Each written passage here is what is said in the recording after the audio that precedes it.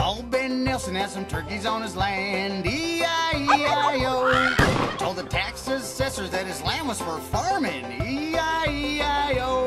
He got greenbelt status to avoid paying taxes. Signed the papers twice to fool the assessor. Old Ben Nelson got tax breaks as a farmer. E-I-E-I-O.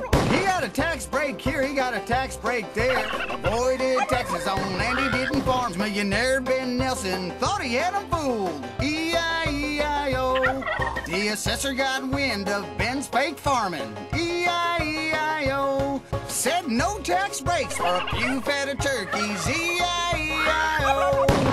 Ben claimed surprise at his green belt status, but the assessor told Ben it's time to pay your taxes. Millionaire Ben Nelson got caught avoiding taxes and still won't pay the taxes he owes. I'm Pete Ricketts, and I approve this message.